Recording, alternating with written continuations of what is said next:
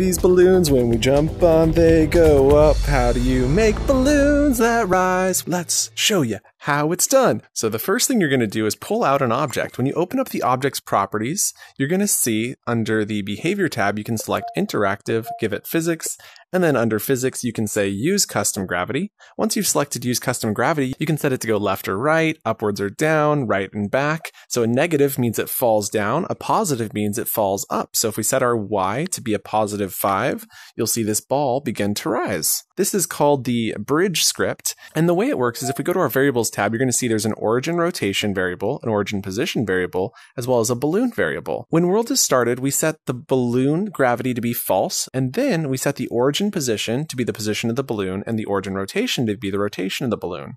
Then, when the trigger is entered by a player, because this bridge script runs on a trigger, we set balloon gravity to be true. We then send my event to self after 10 seconds. And then when my event is received, we stop physical motion on the balloon. We cancel sending my event.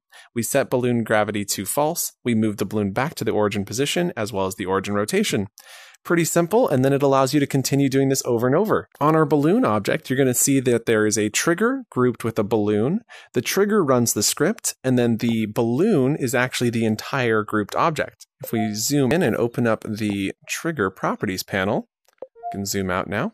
You can see that the bridge script has been attached to the trigger, and then we just reference using this reference group right to here. And now that the group of the balloon and the trigger is referenced, it'll rise up. Let's go red, orange, yellow, green, blue, and purple.